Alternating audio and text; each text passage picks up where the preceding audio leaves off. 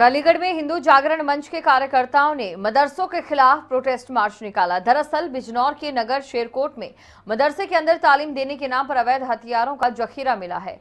पहले भी कई बार मदरसों की गतिविधियाँ संदिग्ध पाई गई हैं, जिसके चलते हिंदू जागरण मंच के कार्यकर्ताओं ने प्रदेश भर में मदरसों की तलाशी लेने और मदरसों के संचालकों के चाल चलन, सामाजिक गतिविधियों की गहनता से जाँच की मांग की है। साथ ही आने वालों आने जाने वालों पर भी नज़र रखने के लिए मदरसों में कैमरे लगवाने की मांग की है और साथ ही मुख्यमंत्री के नाम ज्ञापन सौंपा है।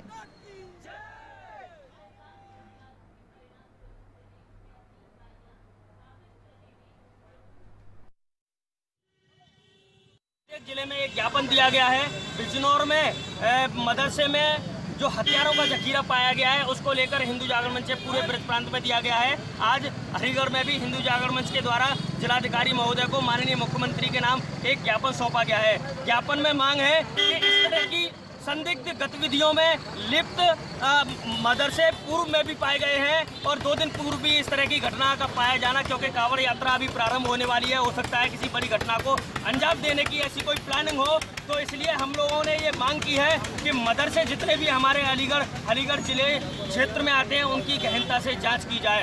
अभी गत दिनों बिजनौर में एक मदरसे में अवैध हथियार पाए गए थे। उसके चलते हुए हमने भी माननीय मुख्यमंत्री जी से ये मांग की है और हमने नहीं पूरे ब्रज प्रांत के हिंदू जागरण मंच ने आज ज्ञापन दिया है, सभी जिलाध्यक्ष महोदय को। और हमारी मांग है कि जितने भी मदरसे चल रहे हैं हमारे ज़िले में, उनकी जाँच की जानी चाहिए कि उनकी मान्यता भी है या वैसे चला रखी है उन लोगों ने।